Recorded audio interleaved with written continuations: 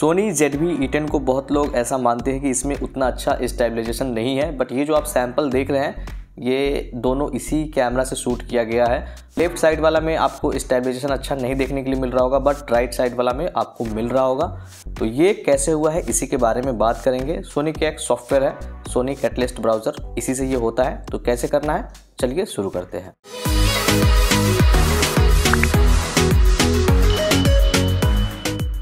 तो सबसे पहले आपको गूगल में आ जाना है। गूगल में आने के बाद आपको सर्च करना है सोनी कैटलिस्ट ब्राउज़र सॉफ्टवेयर सबसे पहला वाला वेबसाइट को ओपन करना है। जैसे ही वेबसाइट ओपन हो जाएगा तो यहाँ पे आपको डाउनलोड का ऑप्शन मिल जाएगा। आप जब उस पर क्लिक करेंगे तो आप इसमें पुराना वाला भी वर्सन डाउनलोड कर सकते हैं और नया वाला भी वर्सन इसमें डाउनलोड कर सकते हैं। तो हम नया वाला ही करते हैं इसमें। तो ये डाउनलोड हो चुका है। डाउनलोड के बाद में आपको नेक्स्ट करना है, फिर इंस्टॉल करना है। इंस्टॉल करेंगे तो एक चीज़ इसमें हमने ये देखा था कि ये रजिस्टर करवाता है पहले। जैसे कि सॉफ्टवेयर इंस्टॉल होने के बाद जैसे इसको ओपन करेंगे तो यहाँ पे रजिस्ट्रेशन के लिए एक्सेप्ट करवाएगा। उसके बाद यहाँ से आपको बहुत सारा डिटेल्स देना पड़ेगा, जो कि आप देख सकते हैं। जैसे कि नाम है, ईमेल आईडी है, पासवर्ड है। एक छोटा सा रजिस्ट्रेशन आप कह सकते हैं। तो इसको आप रजिस्टर करेंगे तो एक मेल पे जो है लिंक जाता है। वहाँ से अप्रूव देना पड़ता है। तो आप जो भी मेल डाले रहेंगे, उस पर एक लिंक जाएगा, वहाँ से आप अप्रूव करेंगे। अप्रूव करने के बाद फिर से वापस से लॉगिन वाले पेज पे आ जाएँगे और यहाँ पे आप ईमेल और पासवर्ड जो दिए रहेंगे, वही पासवर्ड को मानना रहता है यहाँ पे। और उसके बाद से ये आपका रजिस्ट्रेशन सक्सेसफुल हो जाएगा।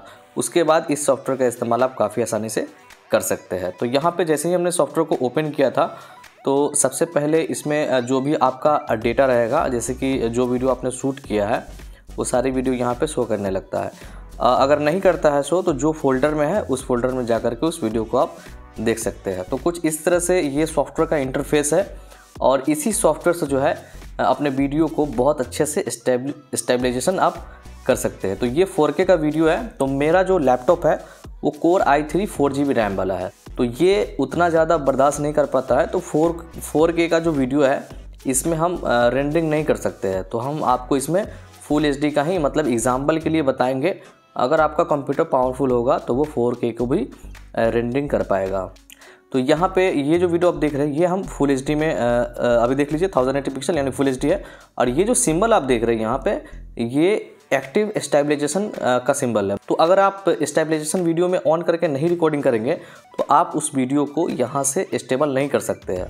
तो उसके लिए आपको जो कैमरा में स्टेबलाइजेशन होता है, उसको ऑन करके ही लेना पड़ेगा। तो चलिए इस वीडियो को हम स्टेबलाइजेशन करते हैं और देखते हैं कि ये कैसा कर पाता है। और काफ़ी सिंपल है, आपको जो वीडियो को मतलब स्टेबल करना है, बस उस वीडियो पे राइट साइड प्रेस करना है माउस पे। स्टेबल क्लिप पे आपको क्लिक करना है और उसके बाद में आपको यहाँ पे एनालाइज वाला पे क्लिक करना है। देखिए, इसमें थोड़ा सा क्रॉपिंग करेंगे तभी जाके काफ़ी अच्छा स्टेबल देखने के लिए मिलता है। लेकिन पहला जो वीडियो हम आपको दिखाएँगे कि 100 परसेंट अगर हम करते हैं तो यहाँ पे रिज़ल्ट में क्या देखने के लिए मिलता है। यहाँ पे हम आपको ये चीज़ बताना चाहते हैं कि अगर आप 100 परसेंट पर रखेंगे तो यहाँ पे कितना ज़्यादा ये स्टेबल कर पाता है। तो आपको कुछ नहीं करना है, ये ऊपर जो देख रहे हैं, अपलोड वाला बटन, इस पर आपको क्लिक करना है, यानी ये एक्सपोर्ट होता है। फिर यहाँ नीचे के साइड में आपको एक्सपोर्ट पे क्लिक कर देना है, और लास्ट में फाइनली यहाँ से आपको ओके कर देना है जिस पर ऑलरेडी टिक लगा हुआ है। तो ये आपका रेंडरिंग चालू हो गया मतलब ये एक्सपोर्ट एक्सपोर्टिंग होना चालू हो गया है और ये जो वीडियो आपका निकल के आएगा, ये स्टेबल रहेगा। तो अगर आपके पास अगर अच्छा क्वालिटी का वीडियो नहीं आ रहा है तो इसका आप इस्तेमाल कर सकते हैं।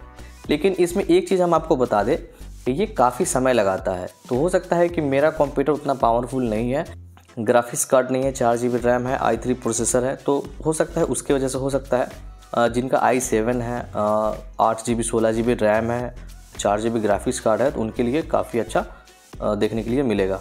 तो यहाँ पे आप देख सकते हैं हंड्रेड परसेंट में लेफ़्ट साइड वाला जो है, बिना स्टेबल का है राइट साइड वाला स्टेबल में है।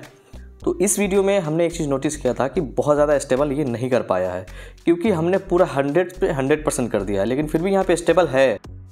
और ये जो वीडियो देख रहे हैं, ये दस परसेंट पे है। तो दस परसेंट वाला वीडियो आप देख लीजिए, बिल्कुल स्मूथ चल रहा है एकदम। तो सोनी के जितने भी कैमरा है, जिसमें एक्टिव स्टेबलाइजेशन है, उसमें इस सॉफ्टवेयर का इस्तेमाल करके उस वीडियो को आप बहुत अच्छा बना सकते हैं।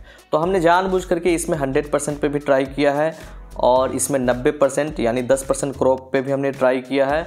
उसके बाद इसमें हम 15 परसेंट क्रॉप पे भी ट्राई करके देखे थे, फिर 20 परसेंट भी ट्राई करके देखे थे।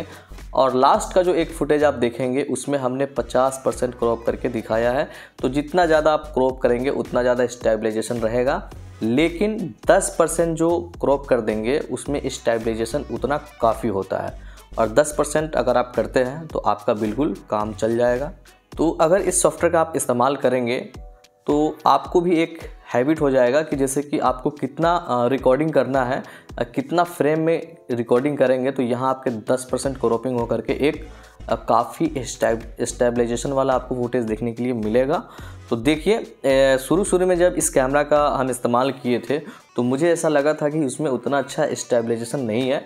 बट ये कैटलिस्ट सॉफ्टवेयर जो है सोनी का कैटलिस्ट ब्राउज़ ये मुझे काफ़ी पसंद आया है। और इस सॉफ्टवेयर को यूज़ करने के बाद में जो है, अपना वीडियो को काफ़ी स्टेबल कर सकते हैं। तो देखिए, इसमें एक ही जो प्रॉब्लम मुझे सबसे बड़ा प्रॉब्लम लगा है कि रेंडरिंग करते समय, यानी एक्सपोर्टिंग करते समय थोड़ा समय लगता है। तो पावरफुल जिनका प्रोसेसर वाला लैपटॉप है, उनके लिए कोई दिक्कत नहीं है। लेकिन जिनका लो प्रोसेसर है, उनको थोड़ा सा टाइम लगेगा वेट करना पड़ेगा उनको। तो आशा करते हैं इस वीडियो को देखने के बाद Sony Z V E ten का स्टेबलाइजेशन आपको समझ में आ गया होगा। और स्टेबलाइजेशन आप ऑन करके नहीं रखेंगे, उस वीडियो को आप स्टेबल नहीं कर सकते। इसमें वो ऑप्शंस आता ही नहीं है। तो ये ध्यान रखें कि जिस वीडियो को आपको स्टेबलेशन करना है, यहाँ पे आके स्टेबल करना है तो स्टडी शॉर्ट को एक्टिव करके रखना होगा आपको। तो यही था इस वीडियो में। वीडियो अगर आपको अच्छा लगा हो तो वीडियो को लाइक कर दीजिएगा, हमारे चैनल टेक सिंपल को सब्सक्राइब कर दीजिएगा। मिलते हैं अगली वीडियो में, तब तक के लिए अलविदा।